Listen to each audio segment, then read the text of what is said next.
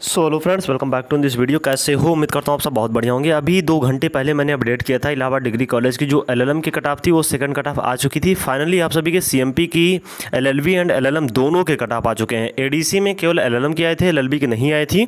लेकिन यहाँ पर आप सभी देख सकते हो कि जो सीएमपी की है, यानी कि चौधरी महादेव प्रसाद डिग्री कॉलेज की, उसकी सेकंड कटाफ आ चुकी है, जो कि एलएलबी एंड एलएलएम दोनों वालों के लिए है। तो डिस्कस करेंगे कटाफ कितनी गई है एंड कटाफ बहुत ज़्यादा कम हो चुकी है। जैसा कि उम्मीद ही नहीं था कि कटाफ इतना कम होगा, कैसे कट ऑफ़ इतना कम हो सकता है? आज के इस वीडियो में हम डिस्कस करेंगे। देखो, वैसे मैंने इसको टेलीग्राम पर अपडेट कर दिया, अगर नहीं देखा तो सभी लोग जाकर देख लो। यहाँ पर आप सभी के सीएमपी के इतनी कट ऑफ्स आई हैं, जो कि आपको स्क्रीन पर दिखाई दे रहे होंगे। बाईस आठ दो को इन सभी की काउंसलिंग होगी। टेलीग्राम पर अपडेट कर दिया था, लेकिन आप सभी को अपडेट करना ज़रूरी था, इसलिए मैं बता दे रहा हूँ। तो बैचलर ऑफ़ लॉ की यहाँ पर आप सभी की कट ऑफ़ आ चुकी है रिज़र्व की एक है एंड एस की यहाँ पर आप सभी की जो कट ऑफ़ है, वो नब्बे हो चुकी है। एक सौ सत्रह से सीधा नब्बे हो चुकी है। मतलब कि भैया यहाँ पर सत्ताईस नंबर कम हो चुका है।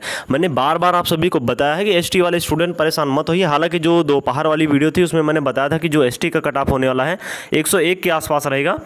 लेकिन उससे भी कम हो चुकी है, क्योंकि उम्मीद ही नहीं थी कि कट ऑफ़ इतनी कम हो जाएगी। एसटी के बारे में इसलिए मैं बोलता हूँ कि कुछ कहा नहीं जा सकता है। उस पर स्टूडेंट के ऊपर डिपेंड करता है कि कितने स्टूडेंट ने पेपर दिया है एंड कट ऑफ़ कितनी जाने वाली है मतलब कितने क्वेश्चन सही किए हैं, क्या कुछ है? क्योंकि रिजर्वेशन इलाहाबाद यूनिवर्सिटी में एसटी को ज़्यादा मिलती है, सीट भी ज़्यादा है। देखो, यहाँ पर जो अनरिजर्व की कट ऑफ़ आई है, बैचलर ऑफ़ लॉ यानी कि एलएलबी की, जो आप सभी की है एक तिरसठ है, एंड जो मास्टर ऑफ़ लॉ यानी कि एलएलएम की है, वहाँ पर अनरिजर्व की एक सौ बासठ है। एसटी की दोनों की कट ऑफ़ नब्बे ही है।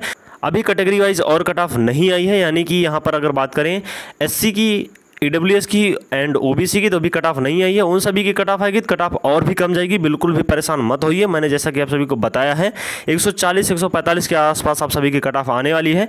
तो जितने भी स्टूडेंट हैं, परेशान मत होइए। एंड एस सी के स्टूडेंट तो बिल्कुल भी परेशान मत होइए, क्योंकि उनके नंबर बहुत ज़्यादा कम हो जाते हैं। तो आपको परेशान होने की ज़रूरत तो नहीं है। इतने कोर्स के कट ऑफ़ आए हैं। इन सभी की मैं पीडीएफ आपको टेलीग्राम पर प्रोवाइड करा दूँगा। टेलीग्राम पर ऑलरेडी मैंने अपडेट कर दिया है बट आप सभी को बताना ज़रूरी था, क्योंकि इसकी काउंसलिंग कल ही है। तो सभी लोग जान लीजिए। उम्मीद करता हूँ वीडियो अच्छी लगी होगी। चले मिलता हूँ नेक्स्ट वीडियो में। तब तक ले बाय टेक केयर जय हिंद।